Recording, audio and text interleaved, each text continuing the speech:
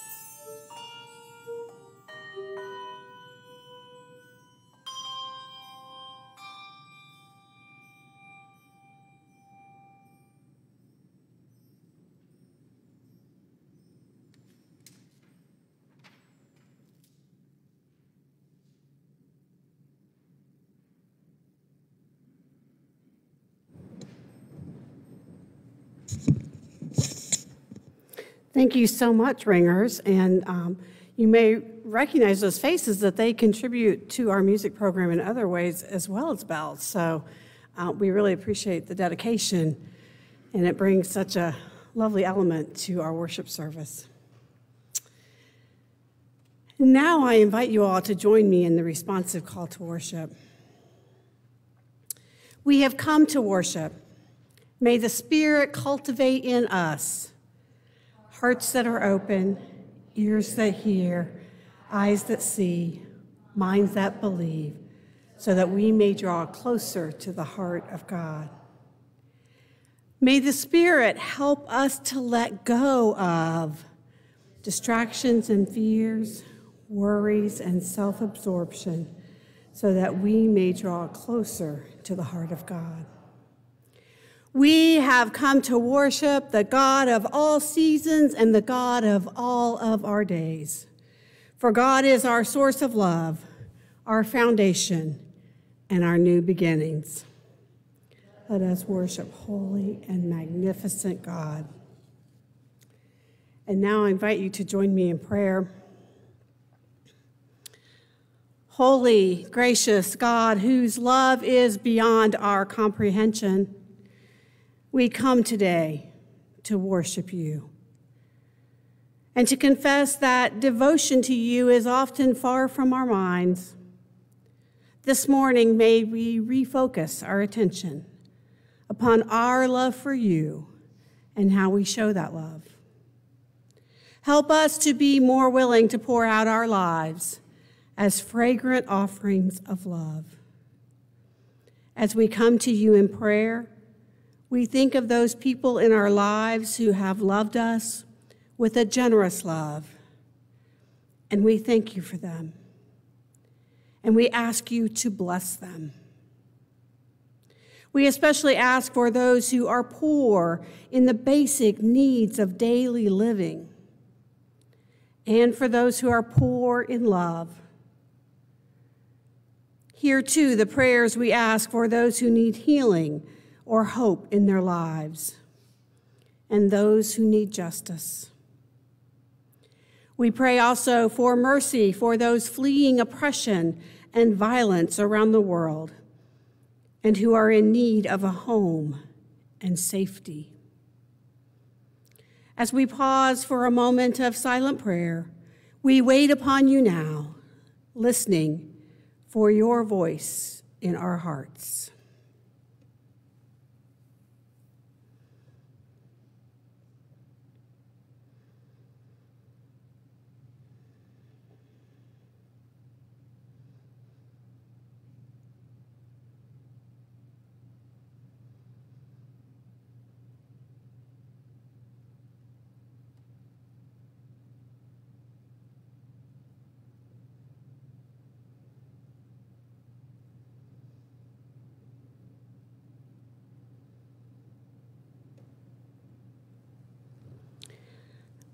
O oh, merciful one, hear our prayers. And as we go into this week, help us to have a focus, a purpose that is beyond that of just simply getting by. Reveal to us our personal ministry and help us to do it.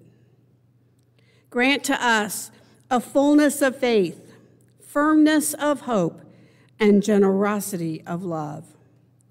For the sake of the gospel, may we hold loosely to our wealth and daily embrace you in the poor of the world. Cultivate in us a trust in you so that we may give ourselves in the service of others. It is in Christ's name that we pray. Amen. We are gathered here today to, wor- to worship the God worthy of every song that we could ever sing, worthy of all the praise that we could ever bring, worthy of every breath we could ever breathe. I invite you to stand if you'd like and join us in singing Build My Life.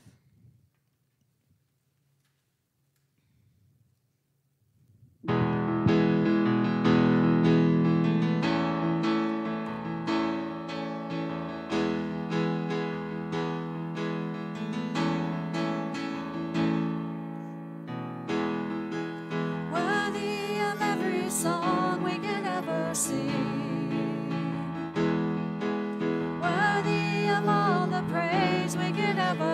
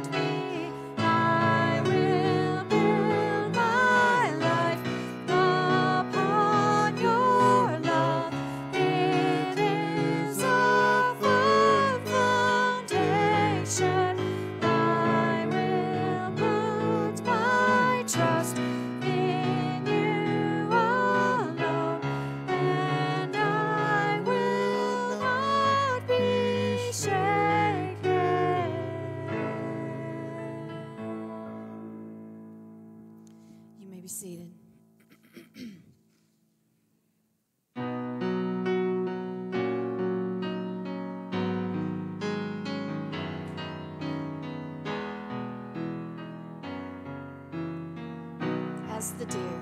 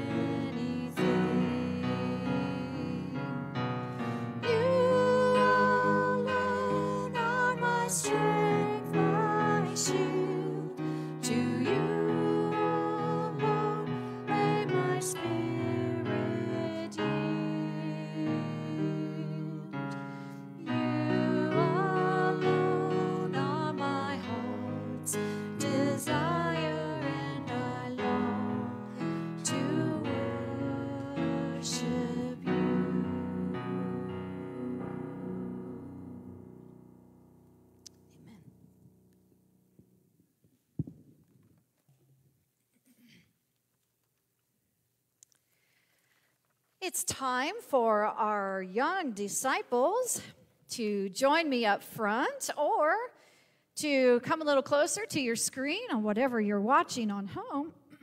oh, excuse me. You can tell it's allergy season. Oh, hey, it's young disciples time. Come on, kiddo. Hi. Have you ever heard of essential oils? Okay, I figured you would. okay, well, I'm going to tell you what they are.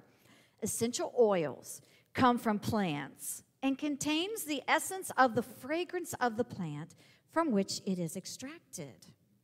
The fragrance is how the plant smells. Have you ever smelled plants? No, well, you should try that sometime.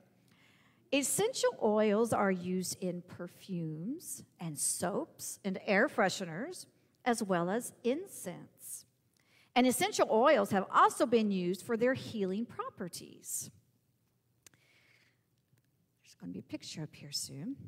In today's scripture, Mary of Bethany has some nard that she uses to show her love for Jesus. Now, you may be, what is nard? Nard is another name for spikenard, which is an essential oil from a flowering plant. So on the screen, you can see pictures of different varieties of spikenard from different parts of the world. Spikenard is an essential oil that has been used for centuries. Do you know how long a century is? You probably do. A hundred years. For centuries as a perfume, a medicine, and in religious ceremonies. And in ancient Rome, it was even used to flavor wine. I don't have any nard for you to smell this morning, but another flowering plant that is very closely related to spikenard is lavender. And I do have some water spritzer here that has lavender in it. I don't have an actual essential oil for you to smell, but this will be close enough. Oh, yep. Didn't need quite that many there. Okay, I'm going to let you take a smell. You don't have to get super close, it's strong. Strong. Isn't that nice? No, not your, not your, not your cup of tea. It's kind of good. Yeah, I kind of like it. well, it only takes a little bit, obviously, to smell its fragrance. I should have paid attention to my own script. Essential oils are expensive, so they usually come in small bottles, much like this, maybe not made of plastic. And people usually only use a few drops at a time, but Mary didn't use just a few drops when she anointed Jesus' feet. She had a large container and she used all of it. The scripture says the whole room was filled with the scent.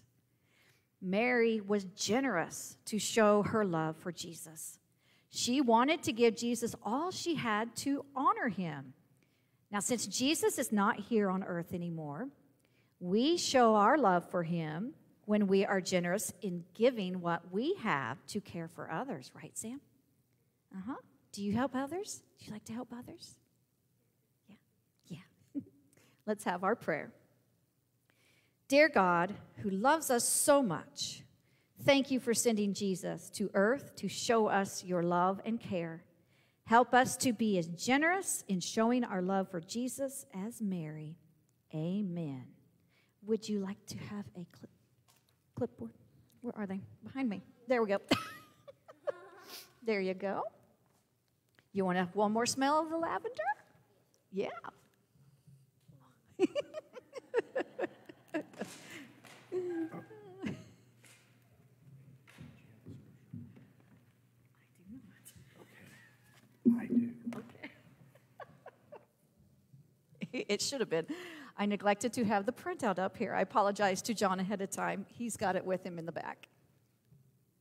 It's been one of those mornings, I tell you. But we are still worshiping.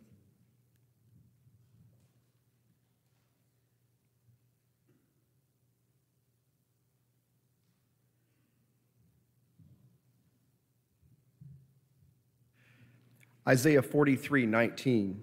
Look, I'm doing new things. Now it sprouts up. Don't you recognize it?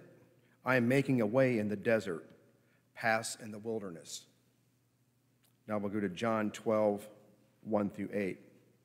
Six days before Passover, Jesus came to Bethany, home of Lazarus, whom Jesus had raised from the dead. Lazarus, Lazarus and his sisters hosted a dinner for him. Martha served, and Lazarus was one uh, among those who joined him at the table.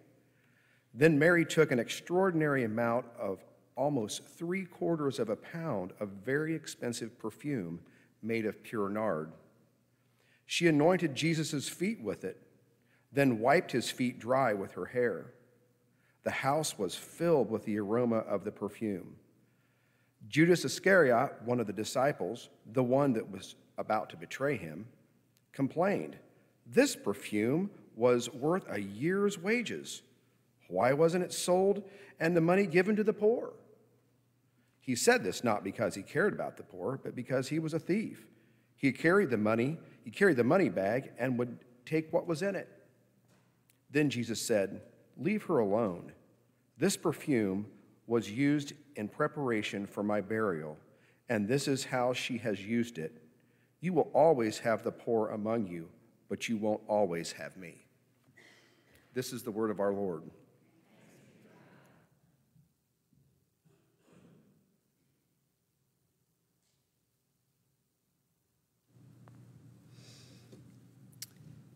Did you notice that today's passage from the Gospel of John begins and ends with Lazarus? You may recall Lazarus as the one who Jesus has raised from the dead, but the focus today is on his sister, Mary. Scripture paints a picture of Jesus having a very close and loving relationship with Lazarus and his sisters, Mary and Martha. And we have three different stories preserved in Scripture that involve them interacting with Jesus. In the first, from the Gospel of Luke, chapter 10, Jesus is at the home, at their home in Bethany, which is just a few miles um, outside of Jerusalem. Mary is in the kitchen, excuse me, Martha is in the kitchen preparing the meal that is to come while Jesus is teaching. Mary, however, is sitting among the disciples at Jesus' feet, listening, eagerly soaking it all in and Jesus affirms her choice. This singling out of Mary of Bethany as one who chose to ignore societal conventions of the day that would have put her in the kitchen as well has given her the nickname of Mary the Intellectual by at least one commentator. Then in the Gospel of John, chapter 11, Lazarus is very ill and his sisters send for Jesus. Verse 5 of that chapter explicitly says that Jesus loves these three siblings. Yet he does not rush when he hears that Lazarus is ill, knowing that he has the power to heal Lazarus. And sure enough, before Jesus arrives, Lazarus has indeed died. He has been dead and laying in a tomb for four days. Martha runs out to greet Jesus, and in the course of conversation, she declares to him, I believe that you are the Christ, the Son of God who is coming into the world. And Jesus affirms her declaration as he brings Lazarus back to life. And now we have today's telling of the anointing of Jesus by Mary of Bethany. Similar stories are also found in Mark 14 and Matthew 26, but there are definite differences. The woman is unnamed in both of those two gospels, as is so often the case. But here in the Gospel of John, Mary, sister of Lazarus and Martha, is specifically named. In the Gospels of Matthew and Mark, Jesus is in Bethany but he's at the home of Simon, whom Jesus had previously healed from the skin disease of leprosy, instead of at Lazarus' home, as we have in today's reading from the Gospel of John. In the Gospel of Mark and the Gospel of Matthew, the unnamed woman anoints Jesus' head, whereas Mary of Bethany anoints his feet. Rachel Held Evans writes that in the ancient Near East, the act of anointing signified selection for some special role or task. Kings were often anointed on their heads with oil as part of their coronation ceremony, often by a prophet or priest. The Greek word Christos, Christ, is a translation of the Hebrew word for Messiah, which means the anointed one. And so the unnamed woman of Mark and Matthew find herself surprisingly in the position of priest and prophet. But in the upside down kingdom of Jesus, it makes perfect sense. Yet Mary's story is different. We know from previous encounters that she and her siblings have an intimate relationship with Jesus as some of his closest and dearest friends. A good way of thinking of them is that they were like family. I think many of us uh, have those folks in our lives with whom we are so close, and we feel such a depth of love that uh, we say in describing them that they are like family to us even when there is no genetic or marital connection. And we can understand the strength and intimacy of that kind of relationship. As Evans points out, anointing the feet is different from anointing his head. This anointing models service, discipleship, and extravagant love. In this sense, John's account is more personal. In a culture in which a woman's touch was often forbidden, Mary dares to cradle the feet of Jesus in her hands and anoints them. Rather than measuring out a small amount of oil, Mary pours it all out. She's all in, fully committed, sparing no expense. The oil has been poured out generously without any thought to the future. The humility of this action foreshadows the foot washing that is to come on Maundy Thursday, when Jesus will model for his disciples what he wants of them after he is gone. We know that suffering and death await him. And it seems that perhaps Mary of Bethany also knew that his earthly time was soon to end. The others in the room at the time do not seem to understand, but here we see a clear foreshadowing of the death that is soon to come. In the Gospel of John, this anointing comes soon after Jesus had raised Lazarus back to life. And the author tells us it is just six days before the Passover we know that Jesus will celebrate his last Passover with his disciples at what we commonly call his Last Supper. We know that the raising of Lazarus has gained Jesus a lot more followers, and word of his miracle is rapidly spreading. And the author tells us that now the religious leaders not only want Jesus dead, but they want Lazarus killed as well to put an end to this uprising. In the midst of all this symbolism and foreshadowing, we are also reminded of the precious oils, frankincense, and myrrh, which the Magi presented to toddler Jesus and his mother, Mary, to recognize and honor him as the child king. Oils that could also have been used to prepare a body for burial. So we see this thread of connection between this Mary's action, excuse me, from his so we see this thread of connection from his childhood through to his death that is still yet to come in this story of anointing. And we also see a contrast between this Mary's actions and those of Judas. Judas, one of the inner 12 who traveled with Jesus for three years and who was entrusted to be the keeper of the purse. Judas counters Mary's extravagant generosity with complaint, feigning concern for the poor for whom it might have been sold to serve. When Jesus points out that you will always have the poor with you, he is telling Judas there is still time for you to care for the poor. I have little time left. But how often present day folks who purport to be followers of Jesus pull this line, you will always have the poor with you, out of context, as if Jesus was telling his followers not to worry about taking care of the poor, as if it is destiny that we must always have poor people who do not have enough to fulfill their needs. It is quite a leap to take when everything about Jesus' life flies in the face of such an interpretation. Rather, those who are closest to Jesus will cultivate a desire to really know Jesus' teachings, as Mary of Bethany did, as well as to live out extravagant generosity as a way of showing their love for Jesus. It won't be with costly perfume, but it will cost us something. We have choices to make with our resources, Reverend Dr. Rachel Keefe says.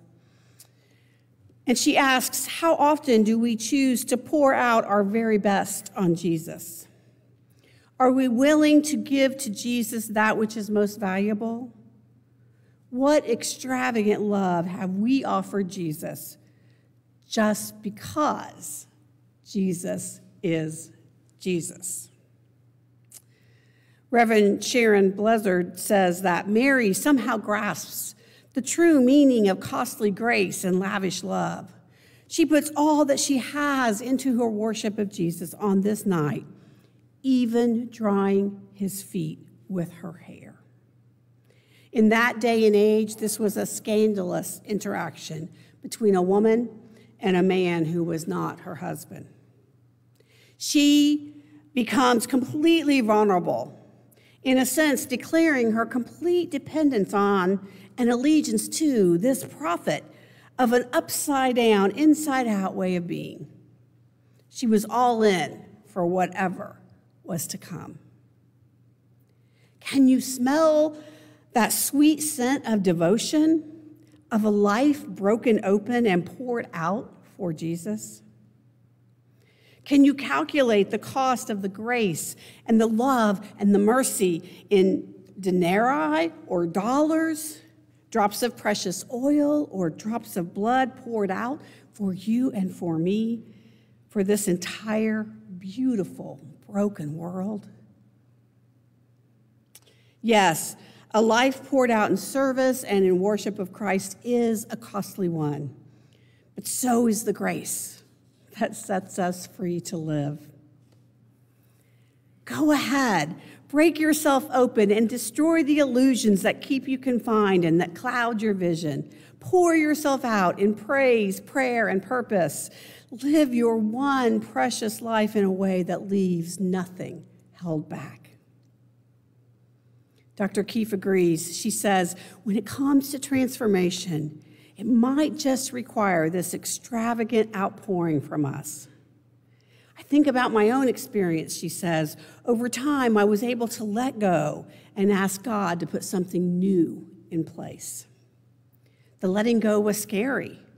Offering God everything I had, nothing withheld. Can you smell the nard? The extravagance filling the room? Keefe goes on to say, Church, it's time we seek to anoint Jesus with that which we hold most dear. We need to break those jars and let the smell of extravagant love flood the room while the tears of grief fall. Cultivating trust in God is a gift worth cultivating. God is always doing something new.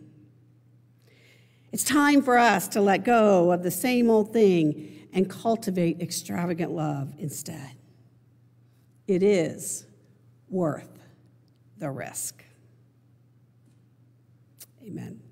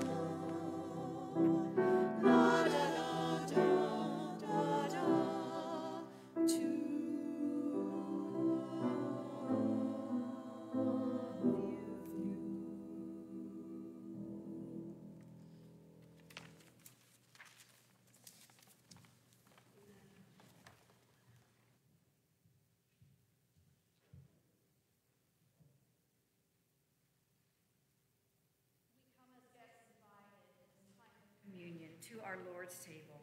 Would you like to stand as you will and join us in singing hymn number 386, We Come as Guests Invited? Let us stand.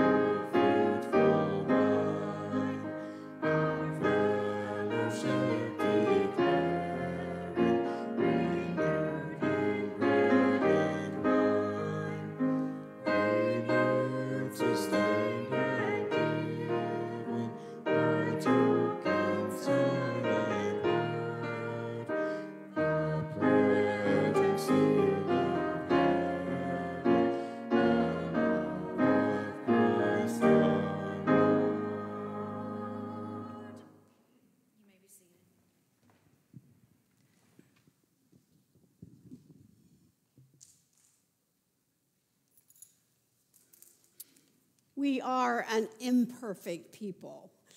We may forget something we were supposed to do for worship. We may lose our place in the sermon. We may lose track of our music.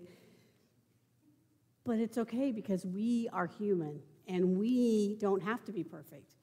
We worship a perfect God who came and made God's self known to us in the life of the human man, Jesus.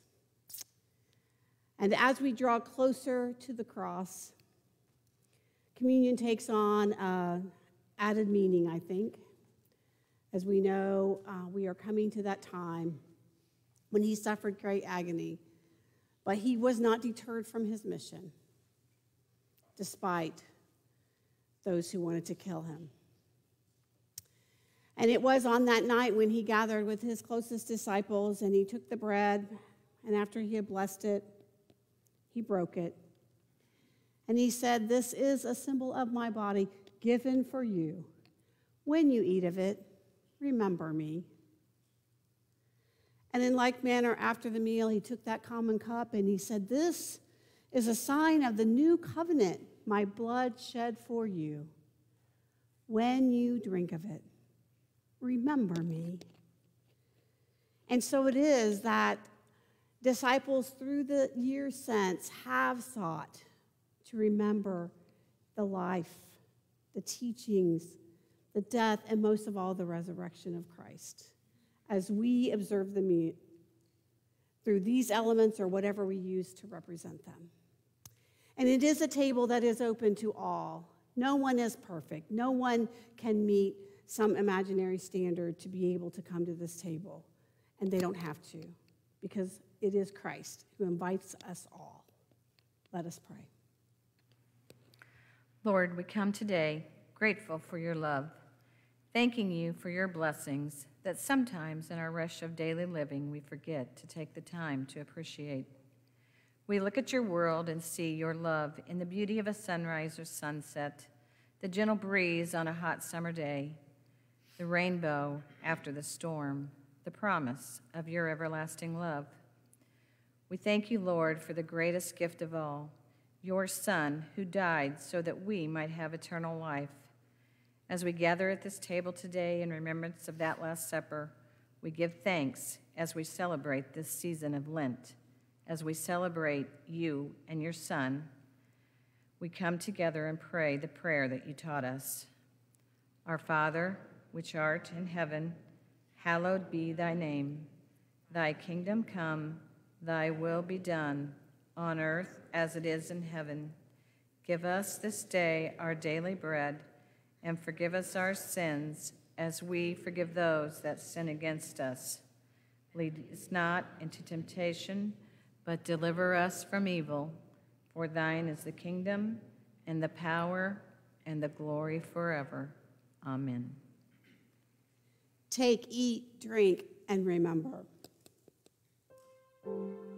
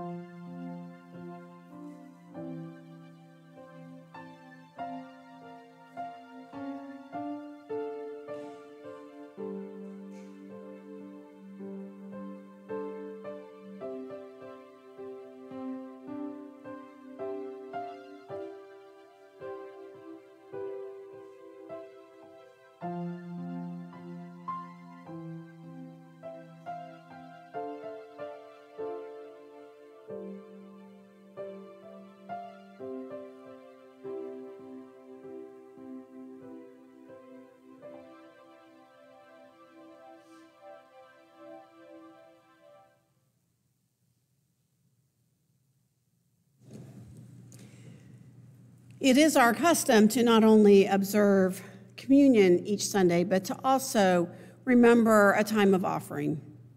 And even though we don't pass plates anymore. We do offer them at the back of the sanctuary, and you can also send your gifts via mail or through the Givelify app online. But we know that financial gifts are not the only gifts that we offer to the church and to Christ. We offer gifts of ourself and our time and our talent. And as we continue in this journey of Lent and we continue thinking about what we're going to cultivate and what we're going to let go, may we think about that in terms of our gifts and how we show our love. Let us pray. Heavenly Father, we are your people gathered together today in fellowship and love. We have listened to your word, praised you in word and song, and given thanks for our many blessings. Now we offer back to you a portion of what we have received. We pray that it will be used to support our church and its dedicated staff, as well as our outreach into the community and the world beyond. You alone, Lord, know what each of us give, and we pray it is acceptable and pleasing to you. We pray that some of our giving even be called lavish and extravagant for the glory and honor of our Lord Jesus Christ. Amen.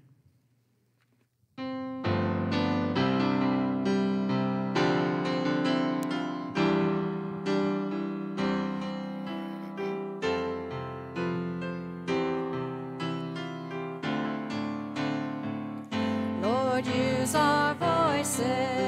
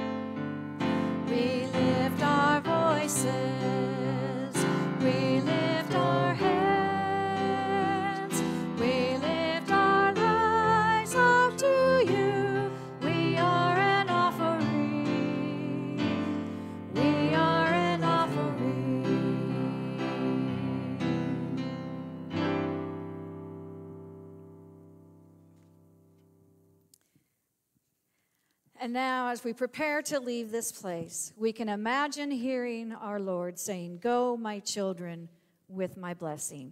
Stand if you'd like and join us in singing as we close out our service.